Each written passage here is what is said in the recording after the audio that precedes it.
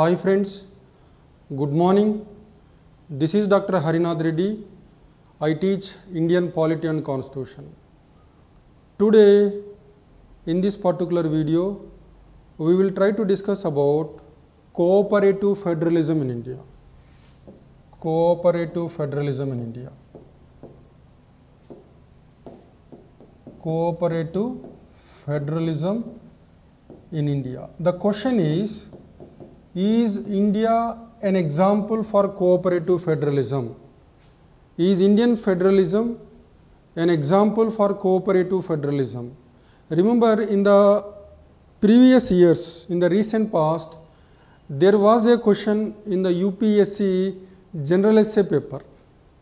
In the UPSC general essay paper, an essay has come on cooperative federalism. The question is something like this Cooperative federalism in India, myth or reality? So, cooperative federalism is it real in India or is it only imaginary or is it a myth? Is the question which has come in the general essay paper for 125 marks. Then again, questions have come in GS paper 2 in the civil services mains exam as part of general studies. Questions have come in the political science optional. Questions have come in the PUBAD on cooperative federalism. So, cooperative federalism again a very important topic for TSPSC group 1 mains, APPSC group 1 mains and also civil services mains exam. The reason is after Narendra Modi became the chief, after Narendra Modi became the prime minister of India, after Narendra Modi became the prime minister of India, he abolished the planning commission. In the place of planning commission, he created Niti Aayog. After the creation of Niti Aayog, Narendra Modi made use of this jargon very very frequently. Cooperative federalism, competitive federalism. Cooperative federalism, competitive federalism. So this is the context in which we have to discuss this particular topic. So Narendra Modi after he became Prime Minister in 2014 and after the creation of Niti Aayog in the place of Planning Commission, he made very frequent use of the word cooperative federalism and competitive federalism. Let us see what is cooperative federalism, the definition of cooperative federalism. Does cooperative federalism exist in India? If it does exist, what are the institutional mechanisms which facilitate cooperative federalism? Then what are the problems? Right? Then let's get started. See, Granville Austin, Granville Austin characterized Indian federalism. Granville Austin characterized Indian federalism as an example for cooperative federalism.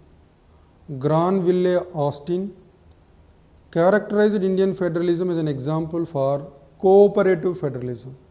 Then what is cooperative federalism? The definition of cooperative federalism was given by Anthony Anthony Harold Birch. Anthony Harold Birch is the political thinker who gave the definition of cooperative federalism. Anthony Harold Birch. According to Anthony Harold Birch, cooperative federalism it refers to mutual interdependence of the national and the regional governments. So, cooperative federalism means if in any country with a federal constitution, if there is a mutual interdependence of the national and the regional governments, then that federalism can be called as cooperative federalism. Then what is the mutual interdependence in India between the national and the regional governments? Let us see. Here, if you take, we had a category of schemes called as centrally sponsored schemes. Centrally sponsored schemes. What are centrally sponsored schemes? Centrally sponsored schemes are those schemes which are taken up on the subjects in the state list as well as in the concurrent list, designed by the center, implemented through the state governments. but funding comes from both central and state governments. Of course, greater part of the funding comes from the center. So when it comes to the centrally sponsored schemes, though they are designed by the central government, they are implemented through the state governments. So in other words, the union government, it is a dependent on the central government for the implementation of centrally sponsored schemes. So here is an example wherein the central government or the union government is dependent on the state governments.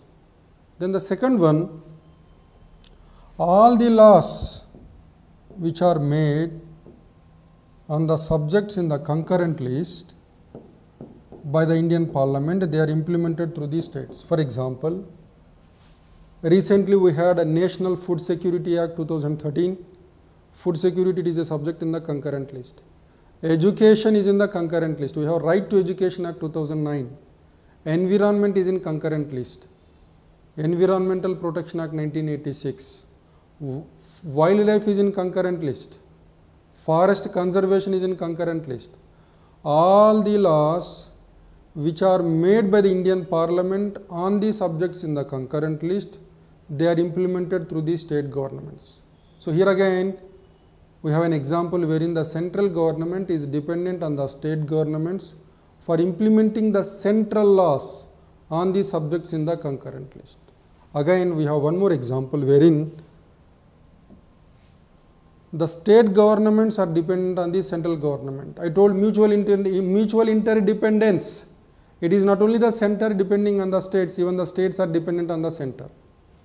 If you see the distribution of responsibilities in the seventh schedule between the center and the states, most of the developmental subjects like agriculture, drinking water, sanitation, public health, maintenance of law and order, these are the subjects in the state list.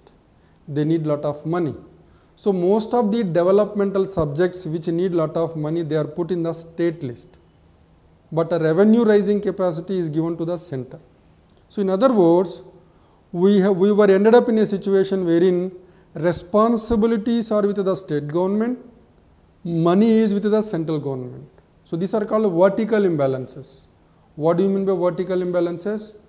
The revenue raising capacity of the state governments is not in proportion to the developmental requirements. On the other hand, the revenue raising capacity of the central government is far higher compared to the developmental responsibility. These are called vertical imbalances. So to address the vertical imbalances, we had in the Indian constitution an institution called the Finance Commission of India.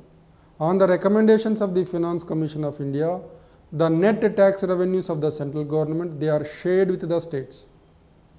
So in other words, the state governments are dependent on the center for financial resources. Out of the total money spent by the state governments, around 50 percent it comes from the central government. So this is the extent to which the states were dependent on the center for financial resources. So here is an example wherein the state government is dependent on the center for financial resources. So like this in India, we do have mutual interdependence national government depending on the state government, state government depending on the national government. Then the question is, if India is an example for cooperative federalism, what are the different institutions which were responsible for furthering this cooperative federalism? The first very important example is Finance Commission of India. Finance Commission of India. Finance Commission of India it is also called the balancing wheel. Finance Commission of India. It is also called the balancing wheel. The balancing wheel. The balancing wheel in the center state financial relations. Balancing wheel in the center state financial relations. Finance Commission of India it is also called the balancing wheel in the center state financial relations. So Finance Commission of India tries to address not only vertical imbalances but also horizontal imbalances to some extent. It is on the recommendations of the Finance Commission of India the net tax revenues of the central government are shared with the states. In the very beginning, the share of the state governments in the net tax revenues of the center, remember, the tax revenues of the central government are not meant entirely for the center. No. Some of the taxes, some of the revenue of the central government must be shared with the states. That's why on the recommendations of the Finance Commission of India, the net tax revenues of the central government are shared with the states. In the beginning, it was around 28 percent. This is the share. The share of the state governments, the share of the state governments in the central government tax revenues at one point of time is only 28 percent. This was very progressively increased to 41 percent now. 41 percent now. So, it is because of the recommendations of the Finance Commission of India and it is because of the Union government implementing the recommendations of the Finance Commission of India, the financial situation of the state governments has improved because increasingly there was a greater share given to the states in the central government net tax revenues. So, Finance Commission of India has played a very important role in promoting cooperative federalism in this country. If uh, there was no increase in the share to the state governments in the net central tax revenues, the financial independence of the state governments should have been greatly affected, creating conflicts, tensions between the center and the states. That was reduced to a great extent by the role played by Finance Commission of India. Finance Commission of India. That's one important example. Then in addition to this, we have under Article 263 Interstate Council. Interstate Council, Article 263. So, Interstate Council is a platform, it is a common platform for the center and the states to resolve those issues which are of common concern to the center and the states. Interstate Council is a constitutional authority. It acts as a platform for the center and the states to, issue, to discuss issues of common concern. So, though Article 263 provided for the establishment of Interstate Council, it was created only in the year 1989-90. It was created for the first time on the recommendations of the Sarkaria Commission in 1989-90. Till then, Interstate Council also has played some role in promoting cooperative federalism. Then in addition to this, we have Article 262. Article 262, it deals with the interstate river water disputes. See, interstate river waters, it is a subject in the union list, entry 57. Entry 57.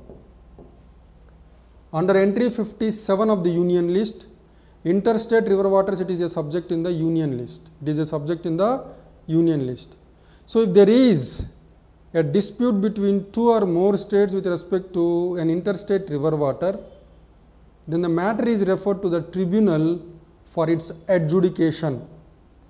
So article 262 article 262 empowers the indian parliament to resolve interstate river water disputes.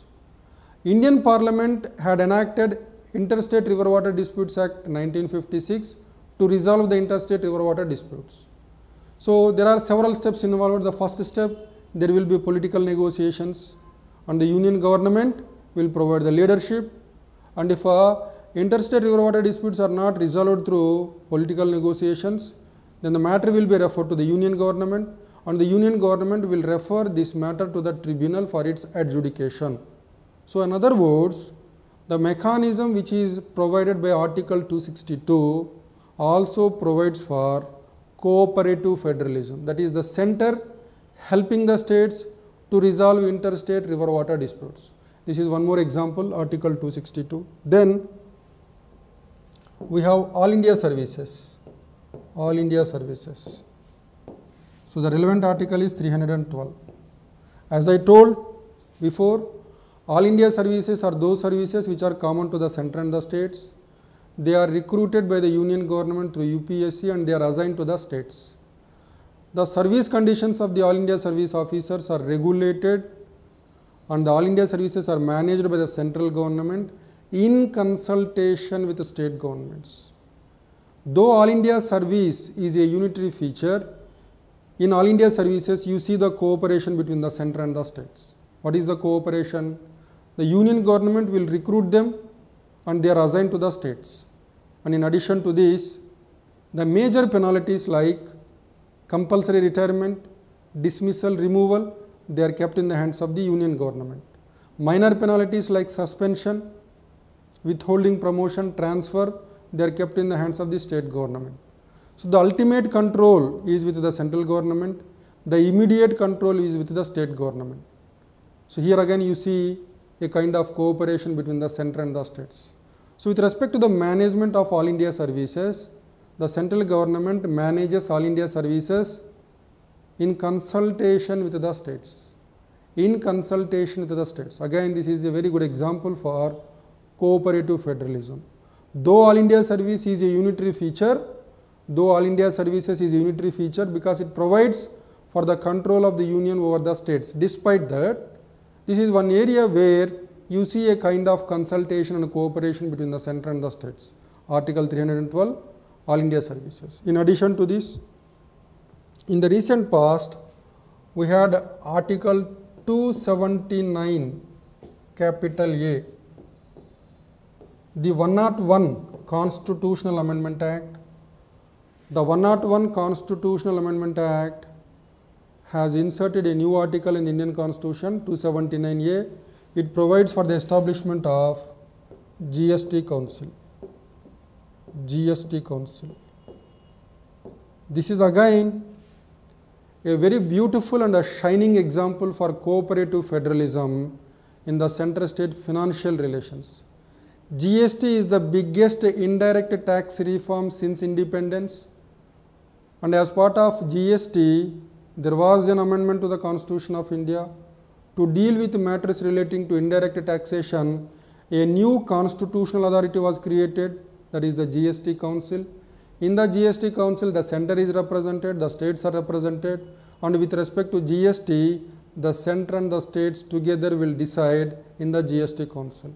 This is again a very good example for cooperative federalism in the financial sphere.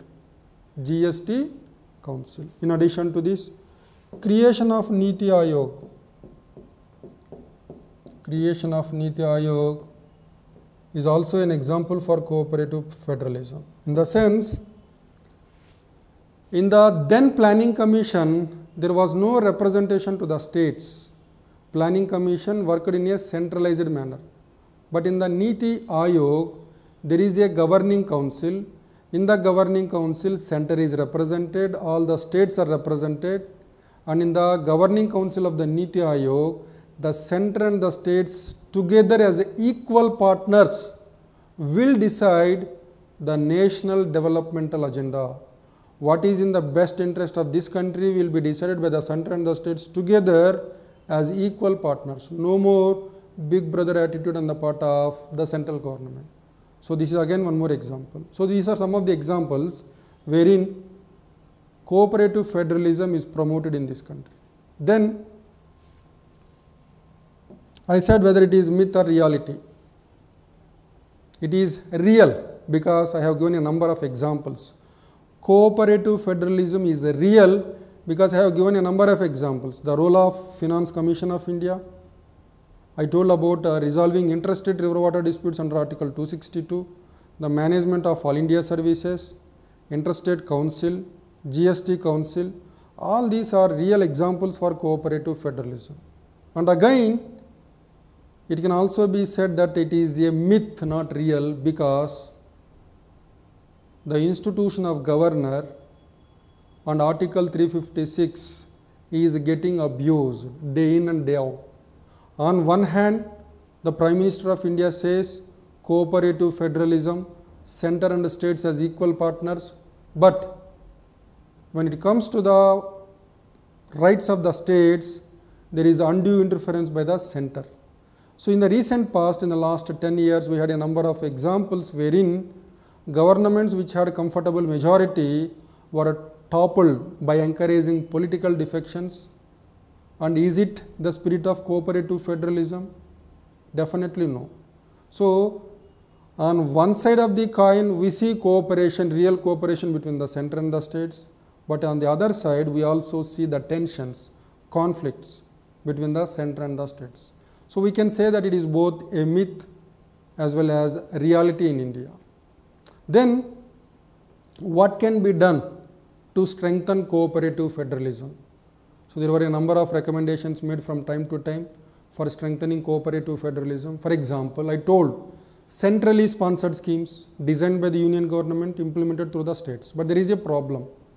The money which is given by the center to the states under centrally sponsored schemes, this money cannot be used according to the felt needs of the states. There are rigid guidelines. So, to give flexibility to the states, there were a number of recommendations. BK Chaturvedi committee, BK Chaturvedi committee,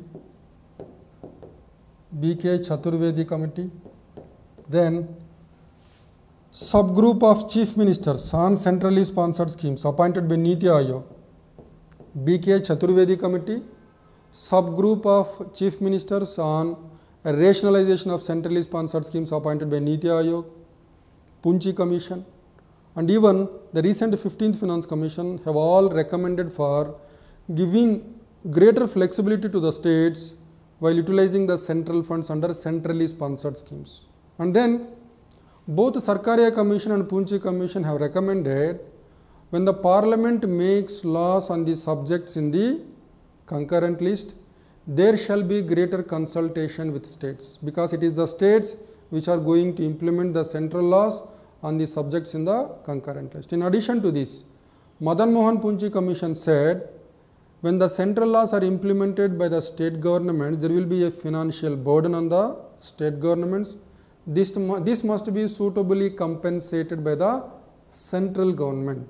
This is one more recommendation. And when it comes to Finance Commission of India, Punchhi Commission has recommended that the Finance Commission of India shall be made a permanent body with members changing every 5 years and in addition to this there shall be greater involvement of the states in finalizing the terms of reference of Finance Commission of India. This is again a very good example. In addition to this, first administrative reforms, second administrative reforms commission has recommended simultaneously there can be more than one interstate council which is created for a particular problem. It is not necessary that there shall be only one interstate council. For resolving different sets of problems, we can have more than one interstate council and this must be adequately used. The institution of interstate council must be put to adequate use. Simultaneously, there can be a creation of more than one interstate council. Then in addition to this, with respect to all India services, which I told Sarkaria Commission said, even the first Administrative Reforms Commission has said, even the Estimates Committee of, Estimates Committee of Parliament has said, all India services are providing a useful or serving a useful role, they need to be further strengthened. All India services need to be further strengthened and uh, we need to create more and more All India services. That is the recommendation of Sarkaria Commission, first Administrative Reforms Commission with respect to All India services. When it comes to the interstate river water disputes, when it comes to the interstate river water disputes, Punchhi Commission says a political solution to the river water disputes is taking a very long time. Why can't you try a judicial solution? Second ARC says no. Whatever is provided in the Indian constitution, that is the tribunal deciding the river water disputes, must be respected.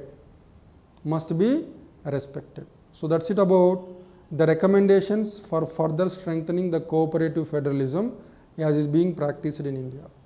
So, with this information, uh, you will be in a position to answer any question on cooperative federalism in a very comfortable way. Then here we can also briefly discuss about the threats to cooperative federalism. We have article 356, this is the biggest threat to cooperative federalism. To some extent the misuse of article 356 was reduced by SR Bommai judgment. Then even in the recent past, Article 3 proved to be a dangerous tool. The state of Andhra, for the first time in the history of independent India, the state of Andhra Pradesh was bifurcated against the wishes of the concerned state legislature without a negotiated agreement among the stakeholders and among the people of different regions. If this is the way the states are reorganized, then it will set a very bad precedent to misuse Article 350, Article 3 for certain political objectives. Is the criticism leveled against the bifurcation in the recent past with respect to the state of Andhra Pradesh. So, this is one more issue which you need, keep, which you need to keep in mind, right? So, these are the threats. That's it about cooperative federalism. Thank you.